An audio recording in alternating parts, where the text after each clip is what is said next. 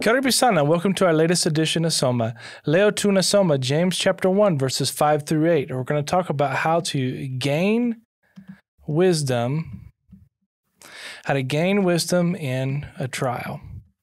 How to gain wisdom in trials. Let's start from here. It says this If any of you lacks wisdom, let him ask God, who gives generously to all without approach, and it will be given him. But let him ask in faith with no doubting, for the one who doubts is like a wave of the sea that is driven and tossed by the wind. For that person not, must not suppose that he will receive anything from God, from the Lord. He is double minded man, unstable in all his ways. Now, wakati unasoma Biblia ni kitu muhimu sana kuona what is the main thing that is being taught. We can see this right here. Lacks wisdom, right? If any of you lacks wisdom, and so that's kind of the main statement that James is making right here. Look for this thing. You can see everything kind of points back. If any of you lacks wisdom, let him ask God. If any of you lacks wisdom, make sure you ask in faith, not with doubting, etc., etc. And then see this word here, for. For that person must not suppose. That word for is a conjunction pointing back again to this main statement. So look for where everything is pointing back to. And this is first statement here. If any of you lacks wisdom. Now, in the midst of uh, the book of James, James chapter 1, um, verses 2 through 3, there's a, there's, there's a famous verse in here that a lot of us knows that consider it pure joy, my brothers, when you face trials of various kinds. And so James is talking about people who are going through various difficult trials. And one of the things that people can um, struggle with in the midst of a trial is wisdom. How do I live through this trial wisely? Now, James, he talks about in um, James in verses four, right above us, he talks about in the midst of trials, live steadfast or persevering. Push through in this trial, not staggering in your faith, but instead remaining firm and stable in the midst of your faith. And when you do that, when you're steadfast in your faith, um, what's going to happen is that you're going to be mature. He says you'll be perfect, complete, and lacking in nothing. But in order to now remain steadfast in the midst of trials, we need wisdom. We need wisdom. Now, there's a lot of things that, you know, James could talk about because when you're going through a trial, there's a lot of emotions you're going through. You can have um, guilt, like you may feel guilt in the sense of, you know, I'm gonna write this down. You could have guilt, right? Like you could feel a lot of guilt um, in the sense of ah, if I'd have just done this better or said this differently, then sitakuwa na hiyo um, shida. I mean, you can have confusion, right? You can have confusion. Like, I, what do I do? What do I say? How, how can uh, I handle this the best way so that way I can remain steadfast in my faith? You need wisdom in the midst of such confusion. You can have fear. I what's going to happen to me? I feel like I'm out of control in the midst of this trial, but at the same time I want to remain steadfast. How do I live through all this? Maybe you have anger, like in the sense of I'm just so frustrated and angry at the trial that I'm going through. And anger a lot of times gives way to despair or depression, even hopelessness. Um, and there can be a lack of motivation as a result of that despair, hopelessness that you're going through. Just continue to press through in this trial and to remain steadfast. And instead of James, you know, talking about every one of the potential emotions you can go through, in the midst of a trial, he just addresses everything at the root cause. You need wisdom. In order to overcome the guilt and see things, I need wisdom on how to not be let guilt overwhelm me in a trial or confusion or fear or anger.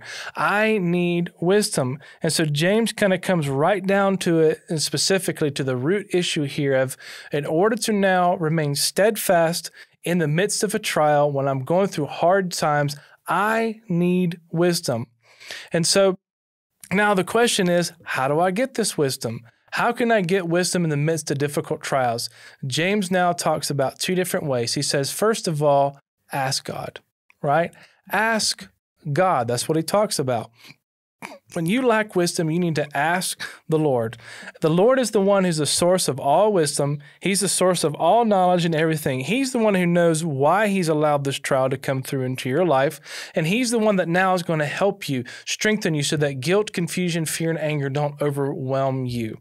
But now, whenever you ask God, you know, maybe sometimes guys are feeling, I, will God really give me wisdom? Is God really going to help me this anger? A lot of times we have this mentality that God helps those who help themselves. And so, therefore, I got to push through and I got to work through all the challenges that I'm going through in my life. You see, Quayle. Instead, the Bible says that God wants to give you wisdom. the Bible, I think it says that he kind of talks about God giving wisdom in a few ways. It says he gives, right? So the Lord gives. I think when you see this word here, give, there's an idea of God is a God of grace right? He's a God who wants to give you graciously.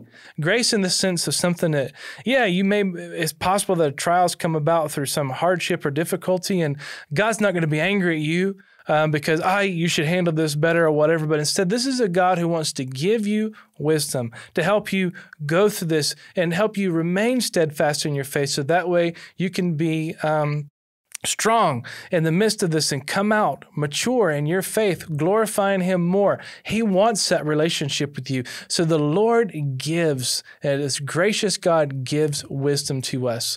Now, how does He give it? He gives it generously.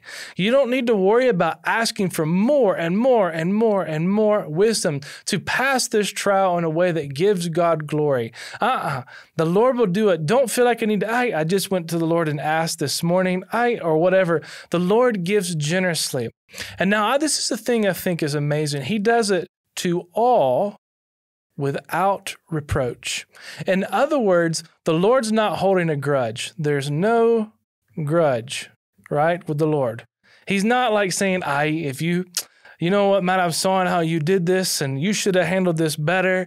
And you know what, whenever you were going through the midst of this trial, in the midst of this difficulty you're going through, you've not been honoring me. The Lord is not like that. Instead, this is a God of grace. This is a God of grace who doesn't hold a grudge. He doesn't, he gives wisdom to you without reproach. God wants to help you. Even if you've got into the midst of a trial or a difficult circumstances because of some reason of your sin, that Lord still is there, wanting to give you wisdom to help you push through in the midst of all that. And I love this promise here. And it will be given to him. God will give you wisdom in the midst of a difficult trial or circumstance. Now, this is something is so important. So we asked here, how does someone gain wisdom? Well, he needs to ask, number one, he needs to ask God. And then now, number two, he needs to ask in faith. How do you ask God? Well, you need to ask in faith with no doubting, right? And so this is something that James talks about here. Now, when we see this ask in faith with no doubting, I think a lot of guys get confused in this because we see here as a, I've asked in faith. Now, I, a lot of times what comes to guys' mind is a number one, name it and claim it, right? Name it and claim it, as in the sense of um, there's certain distortions of this teaching that, you know, uh, I need to ask in faith with no doubting. Um, the first distortion that we can see in this is name it and claim it. Um, philosophy where Christians are taught that they should name whatever they need and in faith and so claim it as given to them like this wisdom is mine i'm speaking it into my my life right now the dangers are the misplacing of faith and the raising of unbiblical expectations Christians are sometimes led, in effect, to place their faith in the force of their own believing. I believe, therefore it happened. I have strong belief. Yes, I have faith. I will have wisdom. And to the, expect freedom from hardship or difficulty or even trial because I've asked for wisdom. What James is prescribing is prescribing is something different. He says to ask in faith, right? In faith of that this God who's a God of all grace, will give it to me generously. I am trusting that I've asked, and therefore God will do his job. My job is to ask. God's job now is to give wisdom, and he will do it generously to me without reproach. And I believe it'll be given to me. I have faith that God will do what He's supposed to do. This is not, yes, I have said it, I have spoken it, because in that instance, you're the one who needs to receive praise and glory, not God. Because you've named it, you've claimed it, you've spoken it in some sort of capacity. This is a prideful way to look at ways to get wisdom from God. Instead, we just ask and believe that God will do his part. Another distortion of this ask in faith, the thing that comes to people's mind is a willful suppression. Willful suppression of doubt a willful suppression of doubt, as in, I'm, I can I can never have any negative thought in my mind ever. Instead, um, you know, I'm, I'm going to push this down. There's a way of positive thinking. I'm going to manifest this wisdom in my life and trust and believe that I'm going to go through this. I visualize how I'm going to go through this, and there's a willful suppression of any sort of doubt that you'll have any sort of fear or anger or confusion or guilt. No, I'm not going to think about those things. And there's almost like a way that you feel that you can manipulate God that you've never doubted, not even one time. Like He can't see inside of your mind. That's not true. Sometimes in faith, there is a bit of doubt. I just, to be completely honest with this, there can be a bit of doubting. Now, what does this mean? With no doubting, is not necessarily a doubt in myself, but instead there's a doubt in God, right? I need to ask. I'm not, I don't want to doubt God.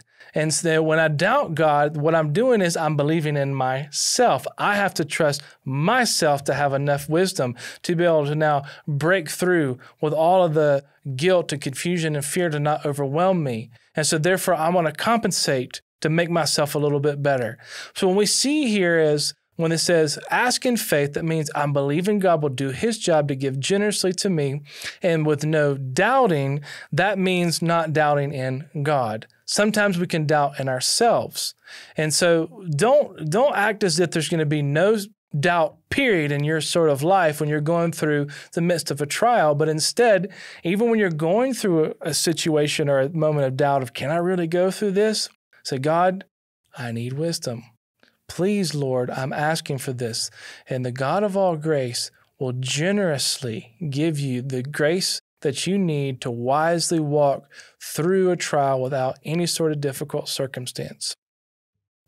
And so James really talks about here this is how we gain wisdom in the midst of trials. And when you walk through a trial this sort of way and asking for wisdom, asking for wisdom, what that's going to do is lead to steadfastness. We can see in James 1, verse 4. And steadfastness then leads to maturity. Maturity in your faith, which is going to help you now enjoy God more, know Him more because you're mature, have a better relationship with Him. Someone who does not believe that God is going to do his job and give wisdom in the midst of all this is like someone that is um, like a wave of the sea that is driven and tossed by the wind. They're all over the place with their emotions. They're not stable, they're not steady. That person must not suppose that he will receive anything from the Lord. He is a double minded man, unstable in all of his ways. We don't want to be known as unstable or a double minded man or woman because we're not really trusting in the Lord. Let us not doubt that God will do his part to give us wisdom. When you pray and ask for wisdom in the midst of trials, God will give it to you generously. And then believe Him that He's going to help you overcome your anger, your fear, your confusion, your guilt in the midst of all sorts of trials that you go through. Trust the Lord. Heavenly Father, we come before you today and we say, Thank you. You are a God of all grace who loves to give wisdom to us generously without reproach in the midst of our trials. Thank you, Lord, that you we can ask you in faith without doubting and you will provide for us. Lord, let us trust in that. Let us not believe nonsense of name it and claim it because I've mentally I believe in the strength of my belief now is the reason that I have wisdom. That leads to pride. And let us not have this willful suppression of doubt where I believe and have these positive beliefs and I will manifest this wisdom in the midst of all the difficulties I'm going through. No, because ultimately, again, that puffs us up and pushes you down. Lord, let us instead trust in you that you are a God who gives generously without fault, and we trust and have faith in you and not doubt in you. We love you and we praise you. And We thank you, Lord, for the wisdom we can gain in the midst of trials. In Jesus' name we pray.